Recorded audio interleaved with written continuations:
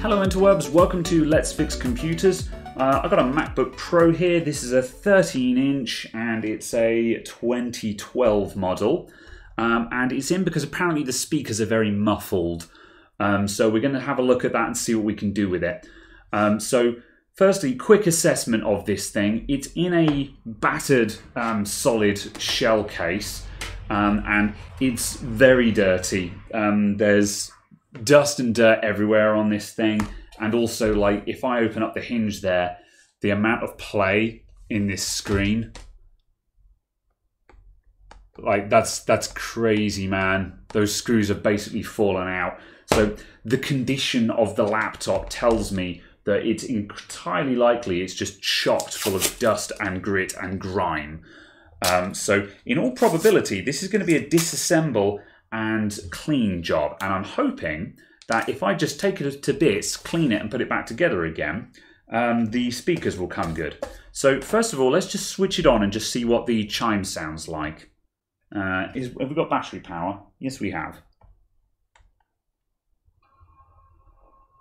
All right, that was very quiet. Um, I'll do that again for you guys. One moment.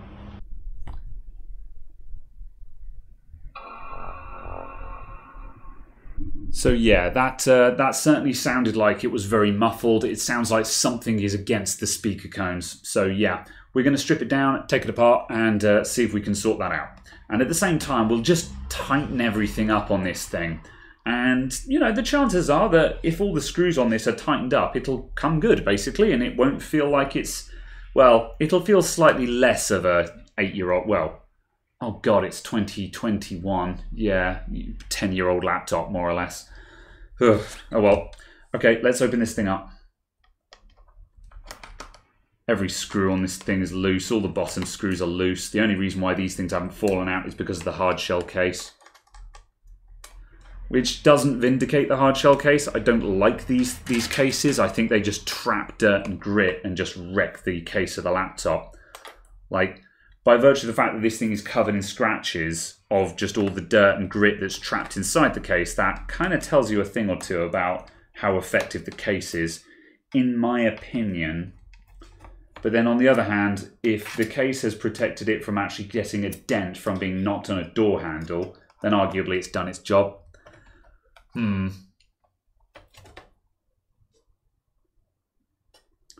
Right. Dave. Uh, okay, well, there's a modest amount of dust in here. It's not horrendous. I've certainly seen much worse, but there's certainly enough to be worth cleaning.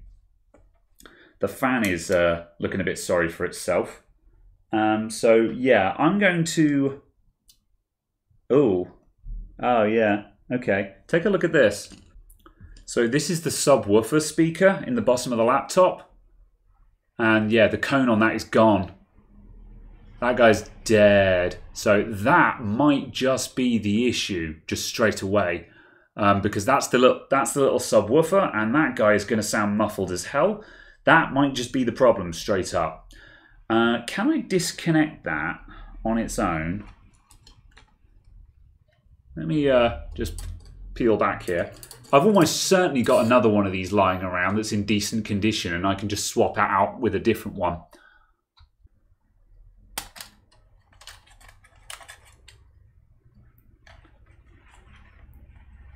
Oh yeah, I remember. So yeah, so one of the speakers. Okay, so the speakers in this in this laptop. Um, we've got one under the DVD drive. This DVD drive has been replaced with an SSD um, caddy. Um, at least I assume there's an SSD in there, and not just another hard drive. Uh, then uh, those two speakers connect here to that connector. Then there's another speaker on the other side of the logic board there. Um, so uh, I need to take all of this out to replace this guy. Um, do I have another one of those lying around? One moment, I'm going to have a look. That'll do it. So there's the uh, there's the right hand speaker and the subwoofer, and that one the cone is perfectly intact. So this is probably going to be as simple as that. Uh, let's strip this thing down. We'll clean it up, change out that speaker, and it should be good.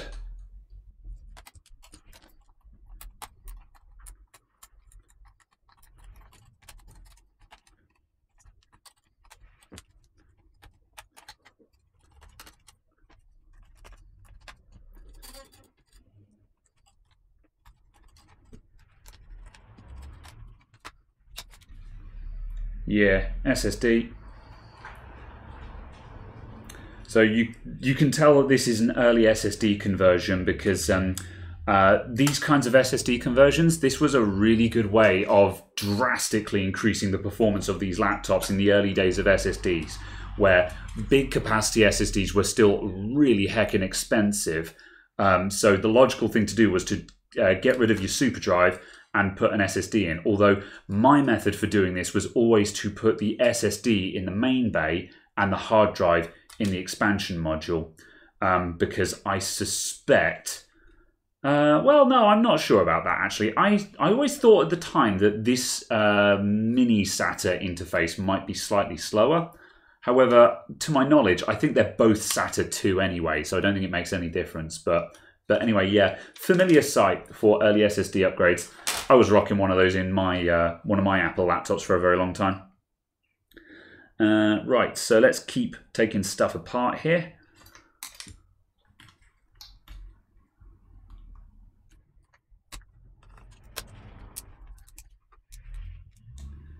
Let's turn the laptop round. I'm working left-handed. Remember to turn stuff round when you're working on it. Make the device work for you, not the other way around.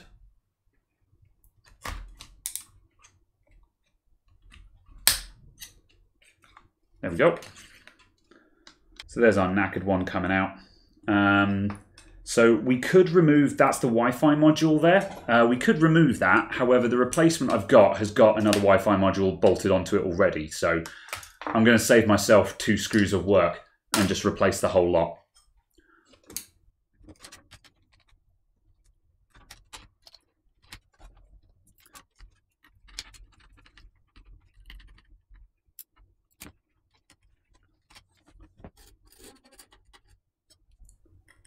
Okay, so that is positioned there. Before I put the rest of this in though, I'm going to take the display assembly off because um, those horrendous hinges also need to be dealt with. So I'm going to fix that while I'm here. And uh, uh, I'll basically just charge the customer my standard service fee um, for essentially just taking the laptop apart and putting it back together again. This is a second-hand speaker. Um, so, uh, you know, I'm, I'm not, it's just one out of the scraps box. I'm not going to charge for parts like this. If I didn't have any and I needed to get one from eBay and I got a, a nice shiny new one, I'd charge for that. But, you know, there, I'll just give them that one. What would you even charge for that? A couple of quid? Who cares? Labour is where the money is at. Oops, I've gone off shot. I'm just taking off the uh, screws for the other hinge.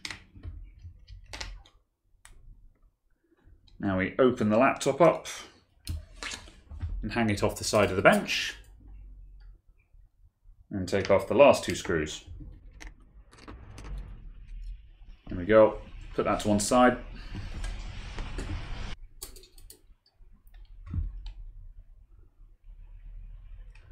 Look at that, man. It's terrible. And the other side? Just as bad. The only reason why these screws haven't fallen out is that there is literally no room for them to fall out.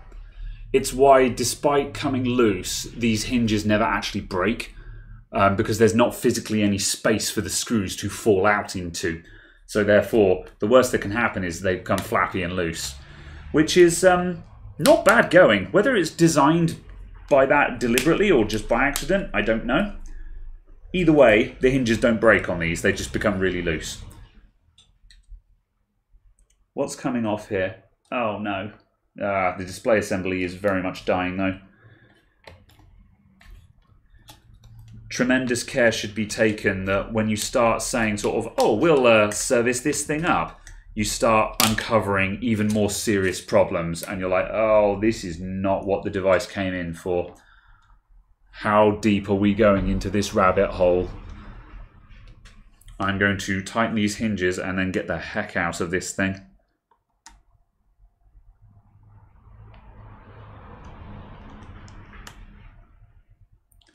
So there's a lot of uh, room for adjustment on these screw holes. But generally speaking, you don't need to really worry about it because um, uh, by the time you've actually bolted it onto the laptop, you can align the screen on the laptop bolts anyway. So Uh, I just make sure that these aren't absurdly wonky and just tighten everything up.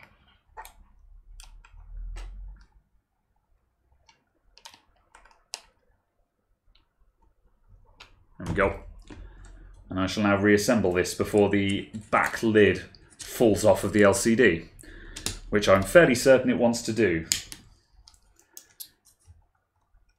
One could argue that this laptop is um, not worth fixing slash not long for this world.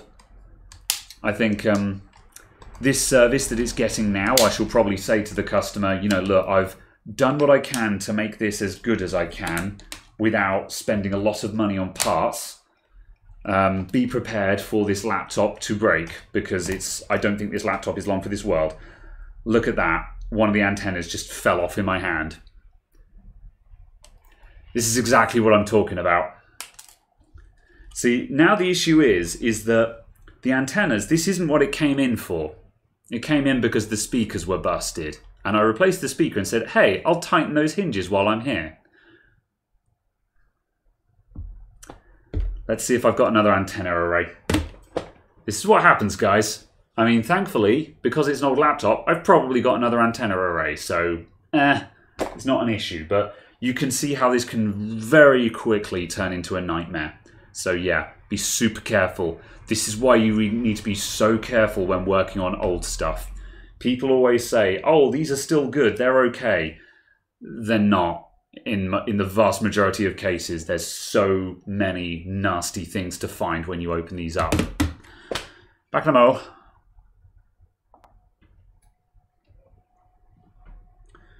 Okay, I've got a I've got a breaker laptop here that's got a dead logic board in it. Um, so I've got and that's got some uh, uh, that's got some good antennas on it, or just antennas that are hopefully less broken than these ones. So I could I could take this display assembly apart and, and steal the antenna array from it. However, given that also we've got all of this to deal with as well, um, this could probably be glued down. I've not actually tried gluing that in before, but it could probably be glued back in. However, just given the state of this um, uh, display assembly, I'm just going to swap the entire display assembly out. Um, so yeah. Uh, again, what do I charge for this? Do I charge for this? These are the questions. I probably, I don't know if I'll charge anything to be honest. Again, I'll, I'll charge my repair charge, but like these parts aren't worth anything because these laptops aren't worth anything. Certainly not when they're dead and falling to bits like these ones are anyway. So it's just a case of just, you know, this is why I collect the old dead laptops because uh, every now and then you'll get a job like this and you'll be like, and every time bits keep falling off in your hands, you can be like, okay, that's fine, we'll just replace that. And you just keep replacing until you've got something that works. Hypothetically, yeah, no, that would be more work. For a moment, I was like, shall I just drop his logic board and drives into this chassis? But no, we're not going to go that far.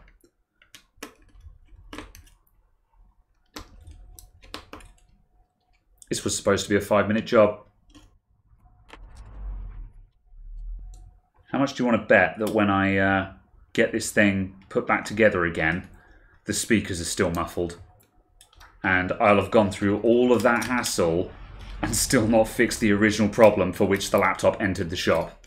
So... it could happen.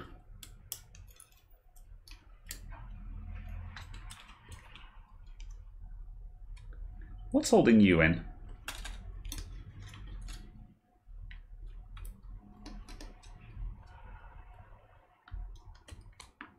There we go. Right, are any of these about to fall off? Okay, they seem to be good enough. All these antenna cables get really weakened there because because this spot down here, when the display assembly opens and closes, this cable loom twists. And there's only about maybe 10 millimeters of twist space there. So the all these antenna wires actually undergo a, you know, uh, almost 90 degrees worth of twist, and that's what kills these things um, over time. There's just not enough twist space there. What they should have done was put more space in the clutch area here, so the cables had like an inch or two inches of room to twist, and then they would have been fine. However, the actual twist space is only about, you know, uh, 10 mil long mm, at the most. So the actual twist force is very tight and very fierce. And that's what kills them. That is what has happened. These ones are not great. However, they have not broken.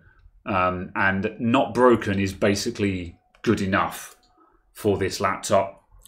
It's good enough to get the thing back up and running again. Uh, what do I want? Display assembly. Let's keep going.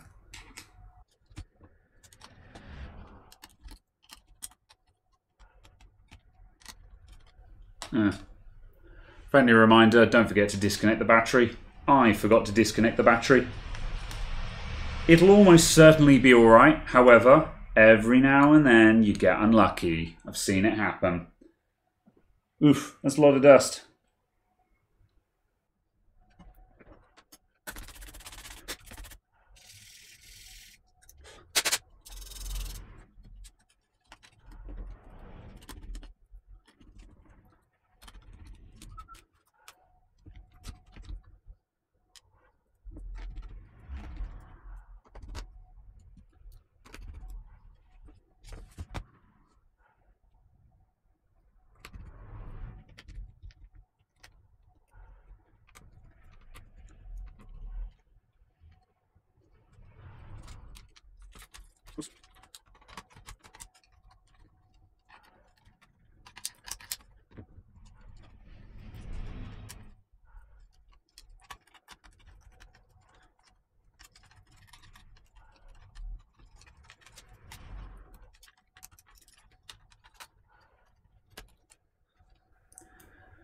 Okay, we've gotten this far and nothing else has dropped off of the laptop, so, so far so good. See if we can make it over the line.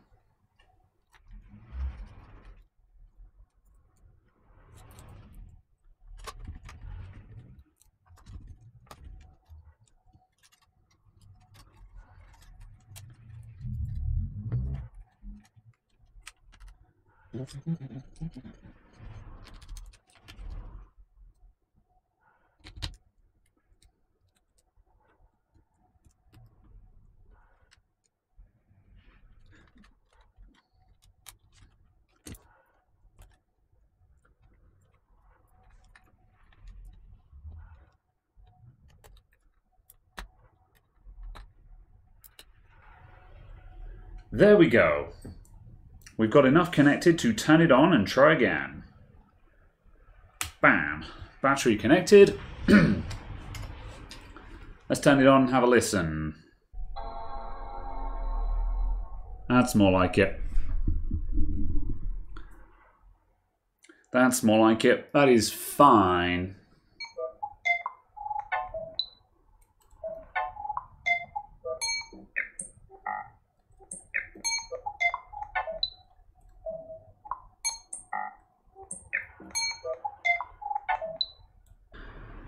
The left speaker isn't working. Right speakers, the ones I replaced, they sound great. The left speaker, the one that I didn't look at, no.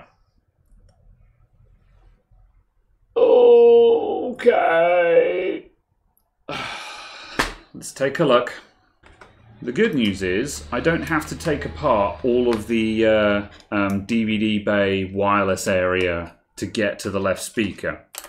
I have to take the logic board out. However, that's an area that I haven't gone to yet on this laptop. So it's not so bad. If I'm lucky, the left-hand speaker just isn't plugged in properly or it's come out or it's loose or something like that. Otherwise, I guess I'll find another replacement part for this thing. And as you can see, I have lots lying around for these laptops because they're all dying, so I've got lots of breaker ones. And this is why it's worth keeping breaker laptops. Well, I say it's worth keeping them. This is why there is some use for breaker laptops. Can't imagine that it's come out. It doesn't look like this laptop has, this logic board has ever been taken out. We'll find out in a minute. There's a big giveaway for if the logic board has been taken out of one of these before. And that is that um, the cooling heat pipe will melt itself onto the back of the keyboard backlight. So if you uh, if you have to rip the heat pipe off of the keyboard backlight, that means the logic board has never been out the laptop.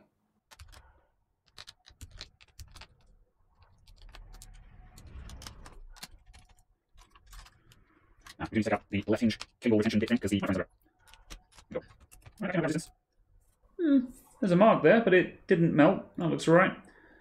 Okay, that speaker looks a bit worse for wear. How's all this gotten here? Right, that's connected. There we go. Yeah, they're all plugged in, but looking at the state that speaker, it wouldn't surprise me if it's also knackered. Um, what I'll do, I'll just uh, I'll take this off and we'll just replace this with another one as well, because you know why the hell not?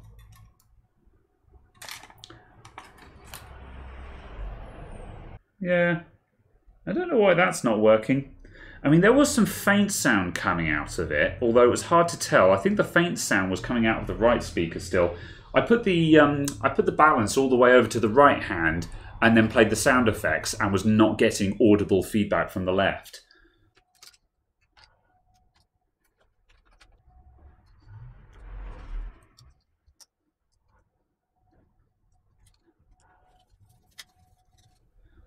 Alright, and I'll tell you what else is because there was so much dust in this thing, I'm going to go ahead and just repaste the CPU as well. Because the last thing I want to do is just hear the fan ramp up on this because the thermal paste is also cooked to hell.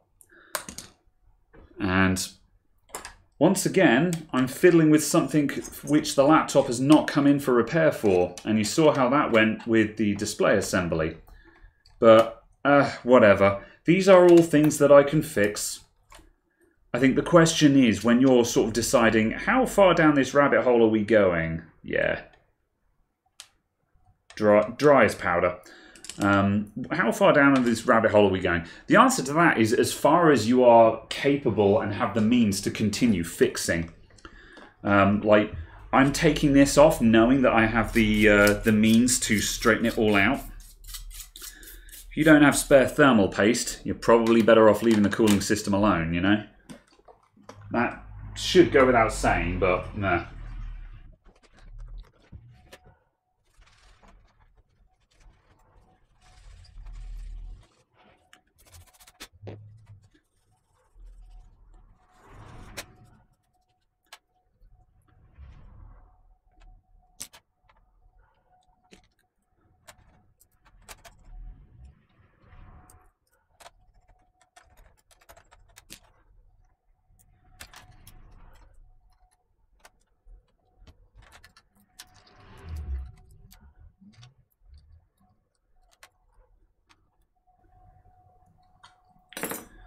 Go. That looks a lot smarter. Back into the laptop it goes.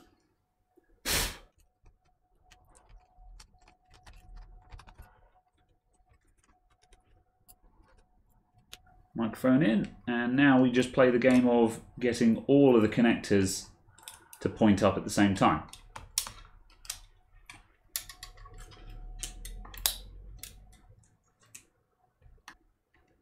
Bam. That was a distinctly louder chime than the previous ones we've had. I feel good about that.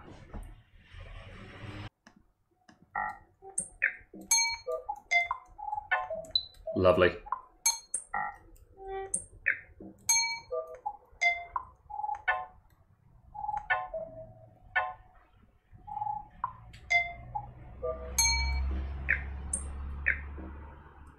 Good.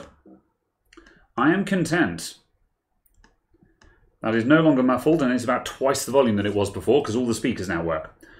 Shut down. And now I've just got to clean this thing and put it back in its cases. Uh, and we are done. Uh, oh, I left out the left hinge thingy as well. Good thing I didn't put all the screws in. I've got a mixture of screws on the counter from where I took the other laptop apart as well. Okay. So the reason why you have to make sure that you disconnect the battery on this laptop and why I got a bit lucky earlier on well, I say a bit lucky. You have to be really unlucky for something to happen. But the um, the backlight uh, power rail to the display connector, uh, that is actually an always hot line. It's really easy to accidentally short the backlight line to ground and blow the backlight fuse. Uh, and um, whereas if you disconnect the battery, obviously that cannot happen. So yeah, as I say, that's why you have to be careful about disconnecting the battery. Really easy to forget on these laptops because certainly when we're starting out working over here, you're not even looking up there. So anyway, reconnect. Covers on. Let's clean. So to deal with all of this, um, to deal with all of this grimy scum that builds up on the sides of MacBooks when they're in these hard cases, this only happens with hard cases, by the way. Uh, what I do is I spray um, using Tesco window and glass. Uh, I spray directly onto the cloth, and then you just go around the edges like so, and that'll all just scrub off. You might need to give it a little bit of elbow grease, but it'll come off. Alcohol probably won't shift grime like this. You can try it, but you'll probably need something that's got a little bit more clean in it, like glass cleaner does. You know, vinegar water solution maybe? Or you could just, you know, buy glass cleaner for a quid. There we go, that'll do. And uh, that laptop looks significantly better now, actually. And, you know, it's got an SSD in it, so it's not shockingly slow either. Um, so, yeah, not bad going. Right, thank you very much for watching, everyone. As always, my support links are down in the description below, or wait for the end card uh, to see my Discord, my Patreon, and my Twitter account. Uh, we've also got memberships on the channel now as well, so you can also hit the join button underneath the video, and you can give me a couple of quid a month if you like what you see and you want to support this content. Thanks a lot, and I'll see you next time. Bye!